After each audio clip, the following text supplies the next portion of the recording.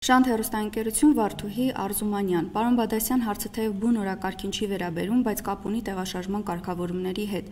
Հայտնի է, որ տաքսի ծառայություններն ու նաև անհատ տաքսիներն իրավունք ունեն միջհամայնքային տեղաշարժ իրականացնել, սակայն տեղեկություններ կան, որ քաղաքի մուտքի հատվածներում նրանց ելումուտը խոչընդոտվում է։ Խնդրում եմ պարզաբանել ինչն է պատճառը, իրավունք ունեն նրանց տեղաշարժը սահմանափակել, եթե կարելի է եւս մեկ անգամ հստակեցրեք նրանց իրավասությունների ու պարտականությունների շրջանակը։ Ես խորհուրդ եմ տալի մասնավոր նման մասնավորեցված սահմանափակումների դեպքում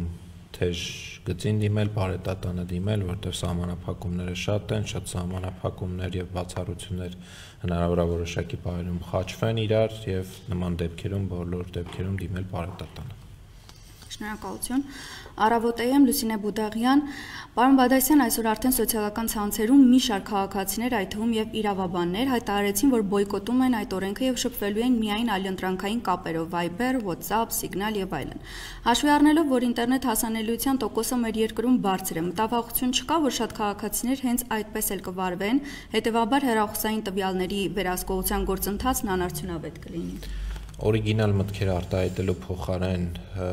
առաջարկում եմ վտանգի տակ չդնել սեփական եւ հարազատների եւ քաղաքացիների առողջությունը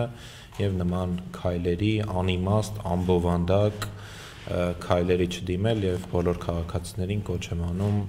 ուղակի պահպանել համանախապակման կանոնները, պահպանել սոցիալական հեռավորությունը եւ ինչպես նշեցի, նախագիծը մեկ նպատակ է հետապնդում օգնեք մեզ ընդհանրապես համաճարակի դեմ պայքարելու հարցում խանգարելու, խոչընդոտելու եւ սեփական առողջությունը վտանգելու որևէ իմաստ չկա վերջին մի քանի հարցերը ընթերցեմ. Arm Daily AM Դուսյա Ղազարյան. Կորոնավիրուսով վարակվածների կոնտակտավորներին տեղորոշելու վերաբերյալ ընդունված օրենսդրական փաթեթի ընդունումից հետո կառավարությունը պետք է որոշի այն մարմնին, որն իրականացնելու է տեղորոշման գործառույթը։ Այն մարմնին, ում հասանելի են այդ տեղեկությունները, ինչպես նաև այս գործընթացի նկատմամբ վերահսկողության ձևերը։ Կա արդյոք նման որոշում կամ ինչպես եք պատկերացնում այս հարցերի լուծումը, ով է իրականացնելու, ով է հսկելու, ինչպես ձեռնպահ մնալ անձնական կյանքին ոչ իրավաչափ միջամտությունից։ Արդարադատության նախարարության կողմից մշակվել է կառավարության որոշման մեջ, որով հայտարարվել է արտակարգ փոփոխությունների փաթեթ, նախնական տարբերակը փոխանցվել է պարետատանը, խիստ նախնական տարբերակը եւ պարետատան եւ նախարարության միջև քննարկումները շարունակվում են, որբիսի կառավարության որոշումը կարծում եմ այսօր կքննարկենք, կուղարկենք եւ շուտով այդ կառավարության որոշումը կլինի, որով նշված կանոնակարգումները կլինեն արտացոլված։ Շնորհակալություն եւ վերջին երկու հարցերը կարծես այս բանին։ Եվս մեկ հարց ազատություն լրագրողից, եթե մինչև հիմա չի ողջվել, թե ինչպես են գաղտնալսվել վարչապետը, ԱԱՑ-պետն ու ՀՔՑ պետը, ինչպես է ապահովվելու այս դեպքում ողջ այս գործընթացն առանց խնդիրների։ Հարգելի լրագրողներ, հարգելի քաղաքացիներ,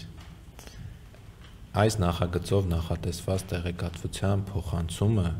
տեխնիկապես հնարավոր չի դարձնում որևէ կերպ խոսակցության բովանդակության հասանելիությունը։ Սա գաղտնալսման մասին նախագիծ չի։ Վերցնում ենք կատարված զանգը, վերցնում ենք վարակակրի եւ խոսացողի հետ տեղակայման վայրի համընկնումը։ Մենք չենք վերցնում ավտոմատացված համակարգն է վերցնում, գեներացնում է տվյալներ Եթե համընկնում է լինում, սկսում են կատարվել գործողություններ համաճարակի դեմ արդյունավետ պայքարելու համար։ Ինչ կապ ունի գաղտնալսումները վարչապետի, ԱԱՑ-ի պետի եւ ՀԿՑ պետի։ Եվ վերջին հարցը անալիտիկ է Մնացականյան Արտուր։ Պարոն Բադասյան, կա արդյոք վտանգ, որ հավաքագրված տվյալները կհայտնվեն հաքերների տրամադրության տակ, ովքեր էլ այն կփոխանցեն երրորդ կողմի կա հավանականություն, որ վաղը երկիր մոլորակի վրա աստերոիդ կընկնի եւ լուրջ հետևանքներ կունենա կամ կա հավանականություն նաեւ որ օպերատորների բազաների տվյալները հաքերները կգրոհեն եւ կվերցնեն կա հավանականություն ամեն ինչի բայց այս նախագիծը դրա հետ կապ չունի